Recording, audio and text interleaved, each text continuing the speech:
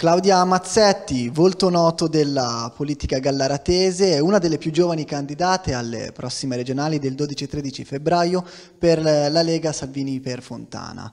Partiamo proprio da una delle sue deleghe in città, quella dello sport e quindi dei giovani. Qual è il suo punto di vista? Sì, ricopro la delega allo sport da ormai quattro anni nel comune di Gallarate. In questi anni abbiamo sempre cercato di andare a supporto delle tantissime attività sportive e delle varie associazioni sportive che abbiamo sul territorio. L'abbiamo fatto attraverso tariffe eh, basse, calmierate e incentivi per lo sport per i ragazzi. Eh, abbiamo portato avanti una manovra negli anni scorsi, 80 voglia di sport, che andava proprio a dare un contributo ai ragazzi per avvicinarli vari, alle varie attività sportive. Lo sport è fondamentale per lo sviluppo dei ragazzi, soprattutto fino ai 14 anni e quindi questa attività deve essere incentivata e supportata. Regione Lombardia porta avanti da anni la dote sport, si potrebbe col tempo valutare di aumentare poi anche quello che è il contributo, però proprio per lo sviluppo dei giovani bisogna puntare sullo sport.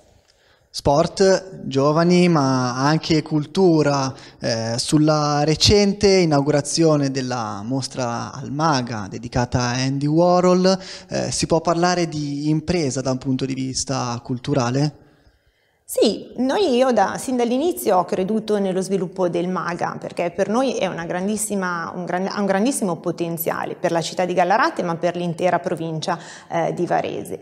Eh, adesso abbiamo portato a Gallarate una mostra direi di livello altissimo e di, di richiamo nazionale.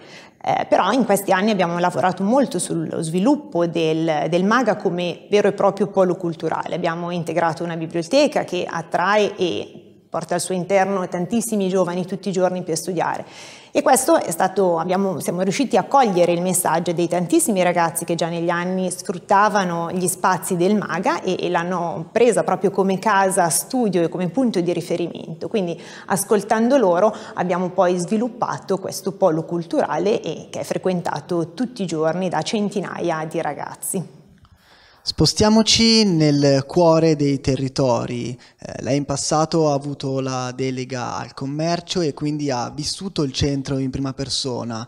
Che cosa pensa che si dovrebbe fare per dare vita al centro del, dei paesi? Eh, questa è una, bella, una bella sfida. Io ci ho messo tantissima passione negli anni per il commercio perché davvero credo che tutti i negozi, tutte le attività contribuiscano a rendere vivi i nostri centri storici, sono il nostro patrimonio. Regione Lombardia eh, da anni favorisce le attività eh, storiche, ne fa un cavallo di, di battaglia, sono quindi da, da, valorizzare e da supportare in, in maniera direi totale, quindi eh, bisognerà continuare nel ravvivare i nostri centri storici nel migliore dei modi, quindi attraverso un'attrattività territoriale, valorizzando il turismo, valorizzando le peculiarità che caratterizzano proprio i nostri centri. Eh, restiamo in centro, eh, un fatto di cronaca che l'ha riguardata in prima persona. Eh, il Mazzetti Point nei giorni scorsi è stato vandalizzato con delle scritte. Come ha reagito e come ha superato quanto accaduto?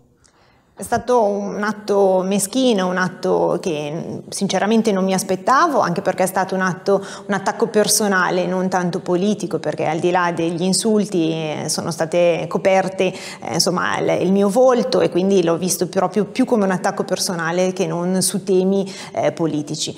Credo che sia nel 2023 un atto meschino e anche un po' ignorante.